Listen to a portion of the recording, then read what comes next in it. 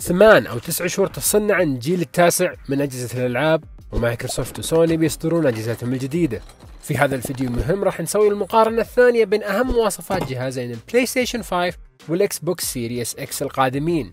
الجهازين بيستخدمون كروت الشاشة من نوع AMD Navi هذه الكروت راح تستعمل معمارية RDNA 2 الجديدة من AMD واللي تقدم أداء أفضل ووقت استجابة أسرع واستهلاك طاقة أقل. مع أن الجهازين يستعملون نفس كروت الشاشة إلا في فروق معينة مخصصة لكل جهاز وهذه بنوضحها الآن.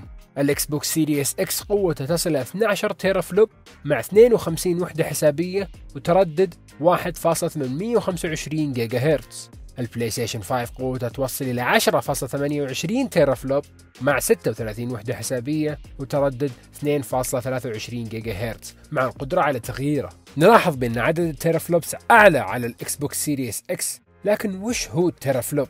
للي ما يعرف كلمة teraflops تعني وحدة سرعة الحوسبة أو سرعة العمليات اللي يقدر يسويها الجهاز. طبعا الكل بيفترض أن كل ما ارتفع هذا الرقم يعني جهازك بيكون أسرع في الأداء بشكل عام. لكن طبعا هذا الكلام مو صحيح لأن أداء الجهاز يعتمد على أكثر من عامل مش بس سرعة العمليات اللي يقدر يسويها جهازك الجهازين راح يدعمون تقنية ال ray tracing وهذه التقنية تقدر تنتج تأثيرات إضاءة واقعية وهي عبارة عن خوارزمية تتبع مسار الضوء وتقوم بمحاكاة طريقة تفاعل الضوء على المجسمات الافتراضية وأخيرا تم تأكيد رسميا بأن الكروت الشاشة للجهازين بيدعمون تقنية ال ray tracing على المستوى العتاد. الآن نجي للمعالج. الجهازين يستخدمون معالج من فئة زين 2 8 نواة لكن مع فروق بين الجهازين. ال PlayStation 5 بسرعة 3.5 جيجا هرتز مع القدرة على تغيير التردد ودعم ال multi-threading. ال Xbox Series X بسرعة 3.8 جيجا هرتز مع دعم ال multi-threading. أيضا تلاحظون هنا بأن معالج ال Xbox Series X أسرع بفرق بسيط. طبعا عدة مطورين وخبراء علقوا على هذا الأمر وأغلبهم قالوا إنه ما بيكون فروقات كبيرة من ناحية الأداء في الألعاب بسبب فرق سرعة المعالج البسيطة.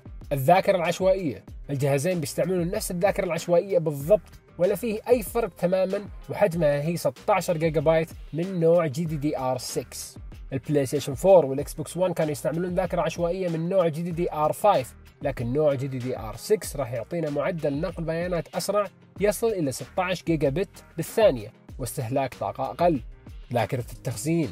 ذاكرة ال Xbox Series X بحجم 1 تيرا بايت من نوع NVMe SSD المصنعة خصيصا للجهاز. بينما ال PlayStation ذاكرته بحجم 825 جيجا بايت من نوع NVMe SSD الخاصة للجهاز.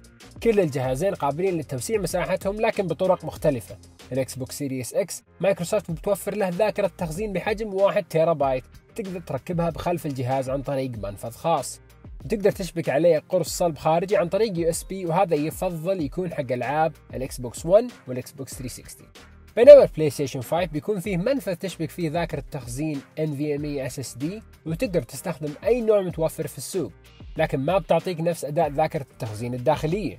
سوني تقول لما ينزل الجهاز بتوضح أي ذواكر التخزين المتوفرة في السوق بتكون الأنسب ومتوافقة مع ال PlayStation 5 طبعا تقدر تشبك عليه أيضا قرص صلب خارجي عن طريق ال USB وهذا يفضل تخزن عليه ألعاب ال PlayStation 4 ال I/O throughput وهذا يعني سرعة نقل البيانات للجهاز.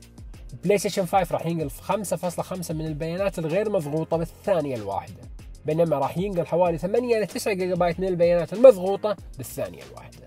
الإكس بوكس سيريس إكس راح ينقل 2.4 من البيانات الغير مضغوطة بالثانية بينما راح ينقل 4.8 من البيانات المضغوطة بالثانية.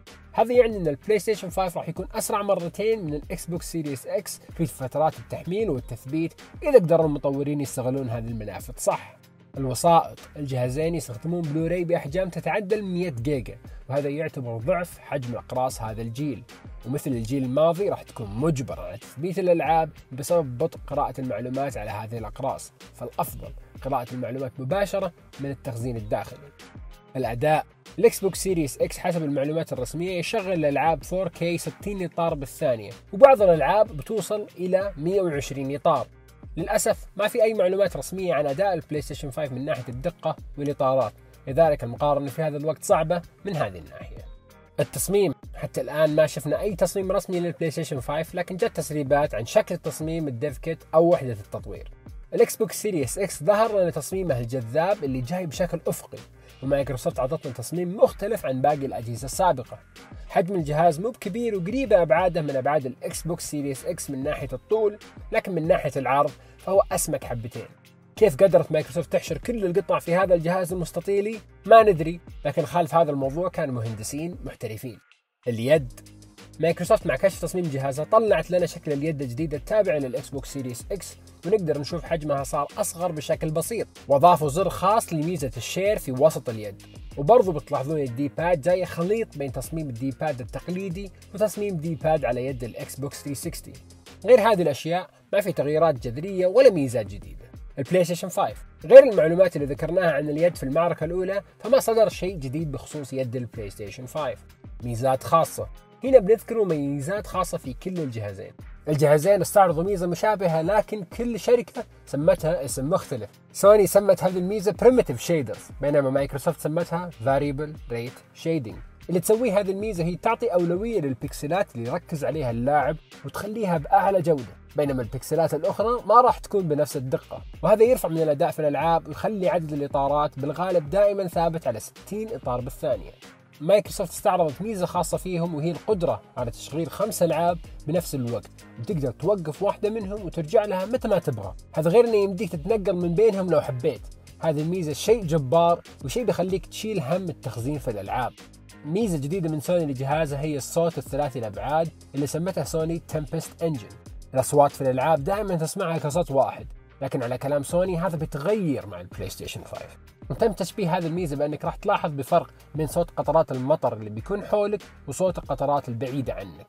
هذه الميزة راح تساعدك أيضا على تحديد موقع اعدائك بدون ما تشوفهم ووضحت سوني بأنها تقدر تستمتع بهذه الميزة بأي سماعة تغطي الأذن ومو بلازم تكون من الفئة الغالية. دعم ألعاب الأجيال الماضية. سوني أكدت بأن البلاي ستيشن 5 راح يدعم معظم ال 4000 لعبة المتواجدة على مكتبة البلاي ستيشن 4 وأنهم جالسين يختبرون التوافق المسبق لكل لعبة وراح يكشفون تفاصيل أكثر عن هذه الميزة في الشهور الجاية. بينما مايكروسوفت أكدت أنهم وضعوا 100 ألف ساعة في اختبار التوافق المسبق مع السيريس إكس مع إطلاق الجهاز آلاف من ألعاب الاكس بوكس 1 ومجموعه كبيرة من ألعاب الاكس بوكس 360 وألعاب الاكس بوكس الأصلي بتكون قابلة للعب. إذا بكذا نكون طرحنا كل المعلومات المهمة للجهازين اللي نعرفها للآن. وأكيد بيكون عندنا جولة مقارنة ثالثة بعد الكشف الرسمي لكل من المميزات الخاصة بالجهازين وألعابهم وطبعا تصميم جهاز البلاي ستيشن 5 ويده. كل هذه الأشياء نتوقع راح نسمع عنها في الصيف حول شهر يونيو القادم. لا تنسونا يا شباب بالاشتراك بالقناة عشان الجولة الثالثة من المقارنة تكون أفضل. وأعطونا لايككم الرهيب كعادتكم شاركونا. أي جهاز متحمسين له أكثر في التعليقات. كان معكم نواف النغموش. يعطيكم العافية على المتابعة ومع السلامة.